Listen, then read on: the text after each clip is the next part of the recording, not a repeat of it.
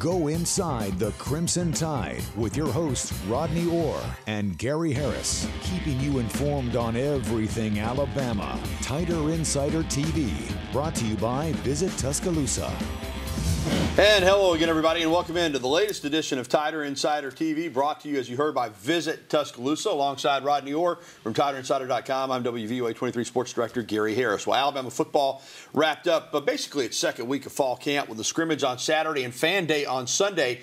Alabama, of course, in full pads on uh, Saturday for the scrimmage, and this is some uh, uh file video of practice uh, I think this is actually from today. And uh, but on Saturday they had the full pass scrimmage, and on Sunday uh, it was the fan day, Rodney. And of course we were not allowed to view the scrimmage, although we did hear from head coach Kalen DeBoer. He said that uh, he was happy with how few penalties there were, uh, not many alignment issues, 102 plays, and he said the offense didn't have any false starts and. Uh, he uh, talked about it. We'll get to him here in just a moment. But first, you, you know, did a little notes package from information that you were able to gather, talking to sources in regards to the scrimmage, based on what you found out. And I read your notes package, and we had you on the radio yesterday too on my show, and listening to Coach DeBoer. It seems, for somebody who didn't see it, like myself, that the scrimmage went pretty well. Yeah, by all indications, it really did. I mean, like Coach DeBoer said, there was give and take. You know, anytime a guy makes a sack, that means somebody on your offensive line got beat, right? So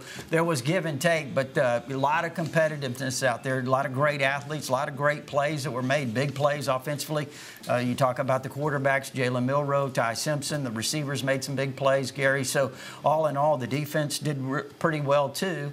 Uh, so I think there's a lot of encouraging things from scrimmage one. And here are some pictures, still pictures from Saturday's scrimmage. There you see Jalen Milroe, uh, Malachi Moore. Uh, Ronnie, were you able to gather from your you know information gathering that you know, on who might have been you know, who might have stood out individually in, in the scrimmage? I think sometimes in these first scrimmages it's really difficult. A lot of guys get into the action. Uh, a lot of it, it's not necessarily uh, individuals that, that really stand out, highlighted.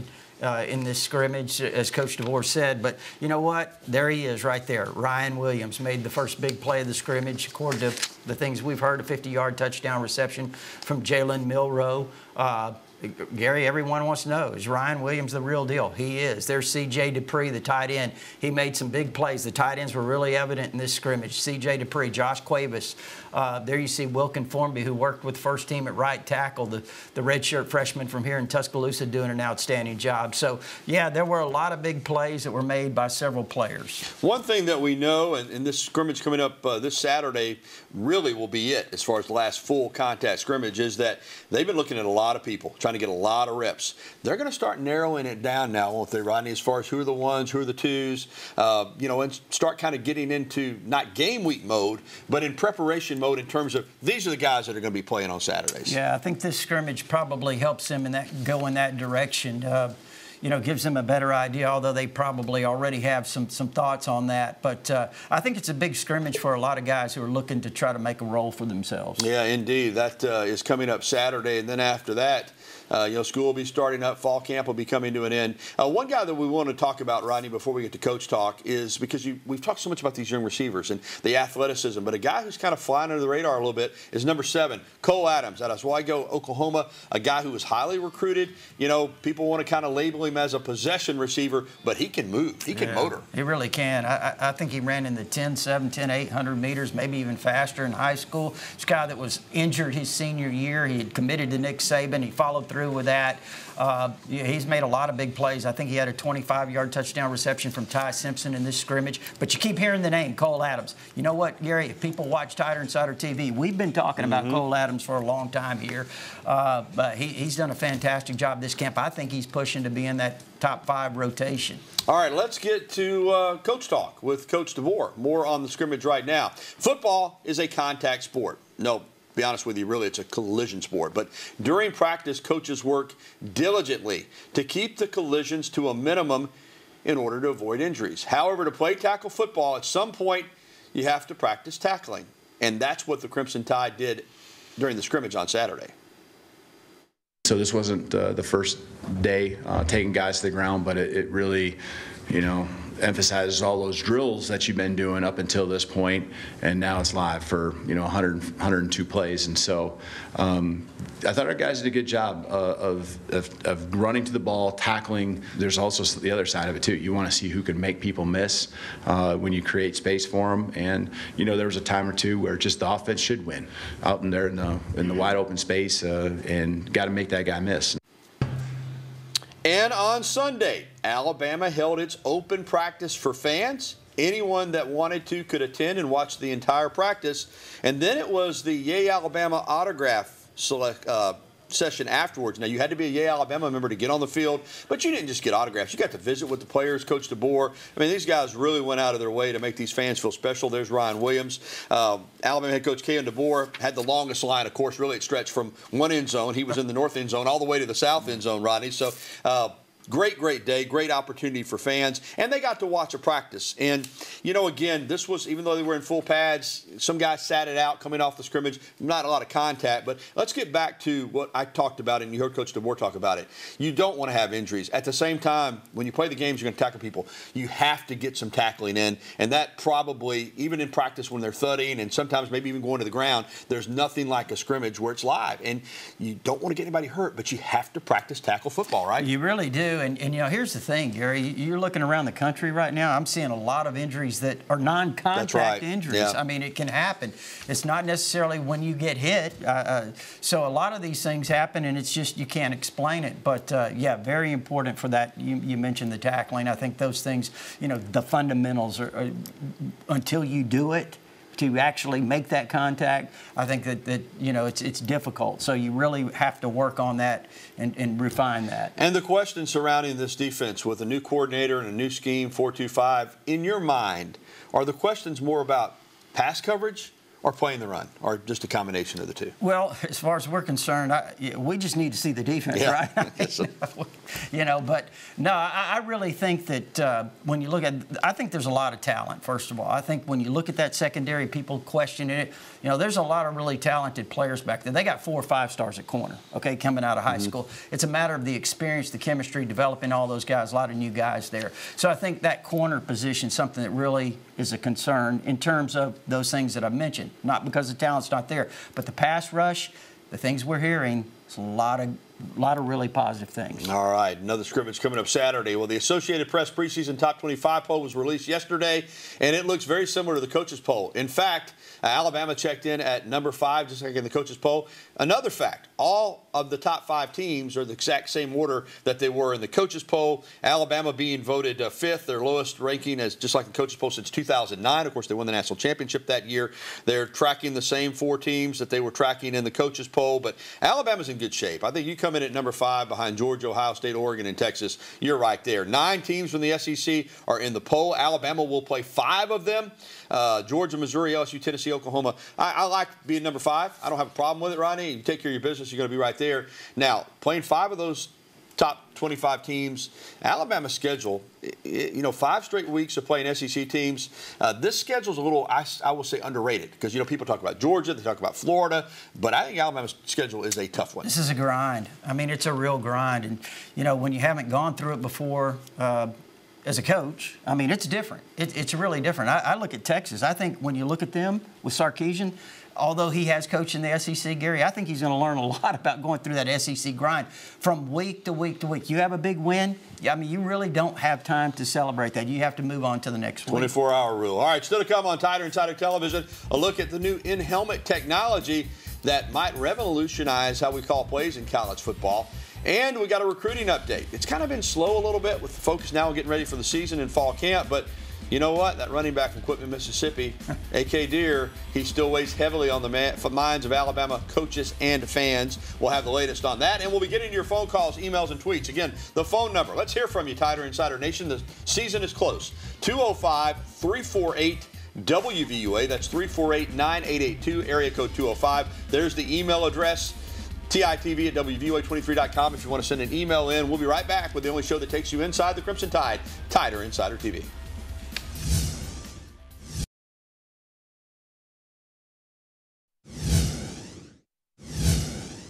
Good coaches, right, you try to minimize that, right? You try to be a human iPad, right, so that you can see things in real time and make adjustments. And we've taken great pride in doing that. So, you know, I wonder if it will be an equalizer to coaches that can't see in real time quite as well. Alabama used the new helmet to sideline communication technology for the first time this past Saturday in its scrimmage. The Crimson Tide also tried out the new rule which allows iPads to be used on the sideline for in-game scouting. Welcome back to TITV, brought to you by Visit Tuscaloosa. Alongside Rodney Orr, I'm Gary Harris. It's unclear how big of an impact the new technology will have this season with the helmet-to-helmet -helmet communication. The feed shuts off with 15 seconds left on the play clock. And Rodney, you know, you don't have to use it, okay? But you know how coaches are. Usually they want to use the most up-to-date technology. My guess is that most of these teams in the SEC are going to give it a go. Oh, absolutely. I think, Gary, when you have that uh, opportunity to do, I mean, the, the, the things you can uh, you know, tell your players from the sideline, the information that you can share with them could be valuable in that 15 seconds, really valuable. Uh, Kane Wommack talked about some of the checks that they could make and how quickly they could uh, assimilate that information to the to the to the uh, Mike linebacker uh, Deontae Lawson and how he could get it to seven or eight players, you know, like that. So I think it's a really big thing that will become very important. Offensive play calling wise, you think that's the way they'll call the plays, just with the voice, well, or mean, do you think I, they'll yeah, still have a signaling? I think uh, they'll have both. Okay. I mean, I, th I, think it depends on the situation, but you always want to have both. I would think. Uh, but yeah, I think that could be really valuable in that regard in terms of uh, relaying the plays to the, the quarterback. All right.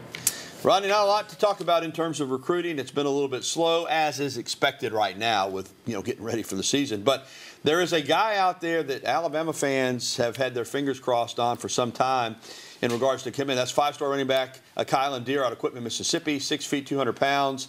Uh, he's been a guy that you know Alabama's had their eye on.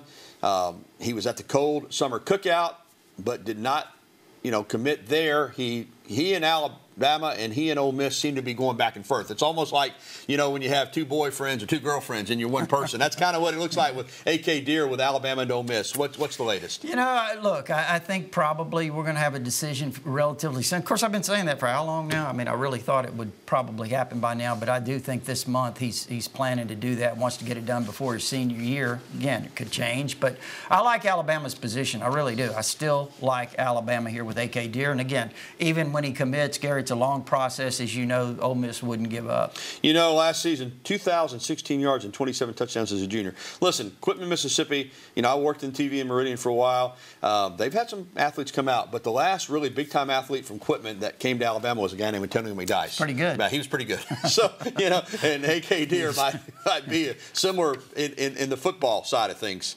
All right, uh, Alabama will keep working that opportunity to get a commitment from him. Well, the SEC soccer preseason coaches poll has been released. Alabama's ranked fifth. The 2022 conference champions come in behind Arkansas, Texas, Georgia, and South Carolina. Of course, 2023, they had another really good year. The SEC has a record seven teams ranked in the top 25. Head coach Wes Hart's squad begins play against TCU on Thursday. The team beat LSU 2 to 1 in its exhibition game last Wednesday. Alabama is going to be really, really strong. Well, still to come on TITV, former Alabama running back Damien Harris. Not going to be playing on the sidelines anymore, but he's going to be reporting from them. We'll have more on that. And we'll be getting your phone calls, emails, and tweets. Go ahead and give us a ring so you can get through now. 205 348 9882. There's the email address. We want to hear from you, Tider Insider Nation. We'll do that next when TITV returns right after this timeout.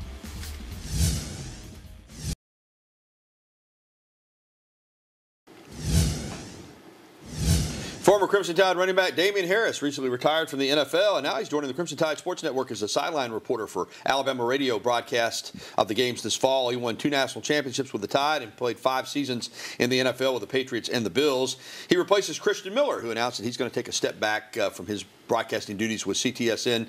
Uh, he already does a daily radio show on Tide 100.9 FM and 12:30 AM WTBC, where I do my show. So I think he kind of wants to keep those weekends open. Harris joins the new uh, team of new play-by-play man Chris Stewart. Of course, color analyst Tyler Watts returns from last season. So it'll be Stewart, Watts, and Harris on the call for Alabama football on the radio this fall. All right, welcome back into TITV, brought to you by Visit Tuscaloosa with Rodney Orr. I'm Gary Harris. Let's jump out on the phone lines. Our pal Dale from down in Moundville is going to lead us off tonight. Good evening, Dale.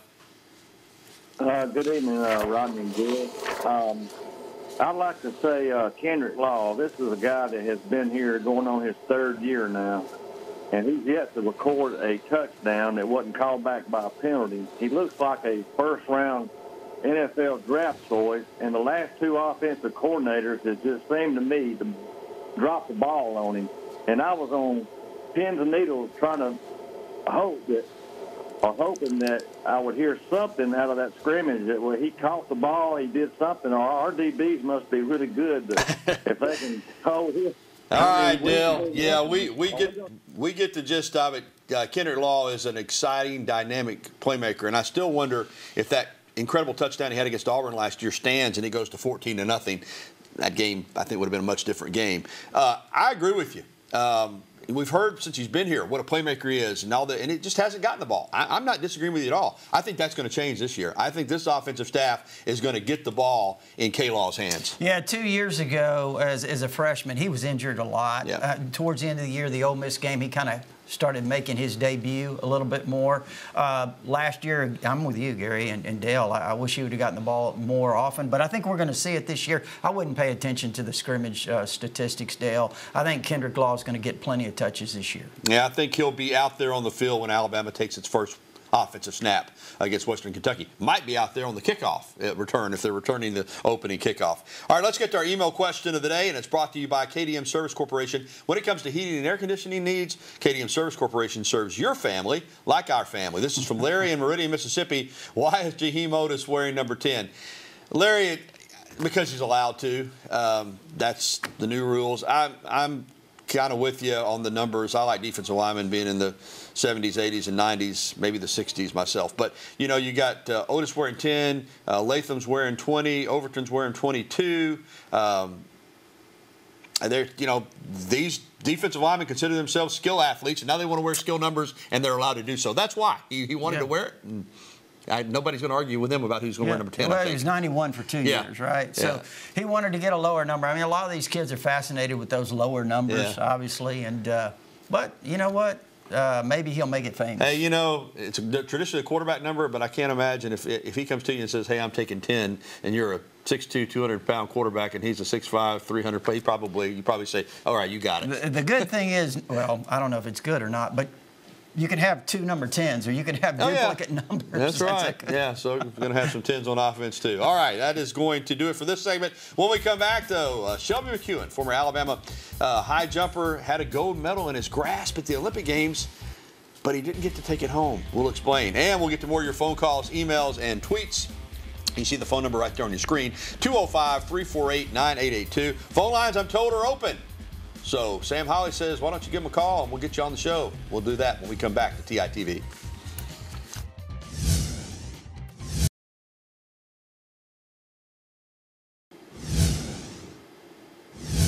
Former Alabama high jumper Shelby McEwen had gold, it appeared. He had a uh, jump of 2.36 meters, nearly 8 feet. That tied Hamish Kerr from New Zealand for the gold medal. Now, they both could have agreed to share the gold but instead, they agreed to a jump off, and McEwen finished second, so he gets the silver. The Olympics wrapped up on Sunday. The United States tied China with 40 gold medals each, so McEwen's uh, gold, if he had won it, would have made it 41. But USA ran away with the total medal count with 126, but uh, they tied China for golds at 40. Bama had a big presence in the Olympic Games. Welcome back in to TI TV, brought to you by Visit Tuscaloosa, and uh, we are going to get to uh, email. Rodney going to lead us off in this segment. Do you have any info? This is for Rodney. Do you have any info on Noah Carter? And uh, that's from Carter in Mobile. I wonder if he's related. yeah. yeah. look, Noah Carter, he's playing that outside linebacker, the wolf position, as they call it, uh, in this defense, Kane Wommack's defense, uh, number 24. He, he, very talented kid out of the state of Arizona that that Kalen DeBoer brought in. He had him committed at Washington, then he flipped to Alabama. Uh, he's got all the tools, Gary. I think he's going to be a fantastic player. I think he had an interception, might have had a pick six in this scrimmage. I don't know if he actually took it back. Again, we didn't get to see it, just kind of going on second hand, but it sounds like he had a pick six. 205 348 8004. I'm told phone lines are open. In the meantime, we'll get to another email. This is from Billy in Tuscaloosa. When will a depth chart be released. Oh, the depth chart question. My assumption, Billy, and I don't know because this is the first time we've worked with this coaching staff. My assumption is that it will come out game week that game week press conference just the way it did with Nick Saban, but I don't know that for a fact. What do you heard, know about it, Rod? I haven't heard. That was one of the more popular things. The Monday, the first press conference of the opener was getting that depth chart, as mm-hmm. you know. Fans like them too, right? Oh, yeah, Not just do. media. They do. Everybody loves a depth chart. Nothing like a depth chart. Then, of course, you get the depth chart, and a lot of times in the Nick Saban era, the depth chart that you had in that press box for that first game, you look down the field, and you're like, well, that's not matching up. up. not matching up. So you, you never really know. All right. I hope we got a, was hoping for a few more phone calls, but maybe they'll crank up next week. We do appreciate the call we got. We appreciate the emails as well. All right, we're going to come back to TITV to wrap it up. Uh, some news on a longtime Alabama NFL vet who's calling it a career. We'll have that for you next.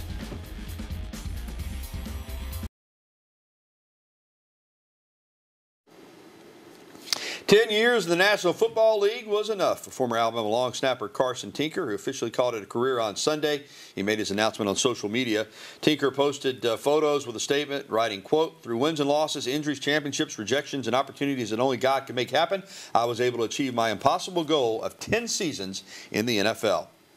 Tinker was instrumental to the support and rebuild of the city of Tuscaloosa after the 62 tornadoes that came through the state of Alabama and one ripped through Tuscaloosa back on April 27, 2011. A great guy. And Rodney, again, um, 10 years in the NFL that's quite an accomplishment. There aren't many people on the planet it's that amazing. can say they, they it's, did that. It's incredible. Yeah. You're a long snapper. And great guy, too. Uh, way to go, Carson Tinker. Great career.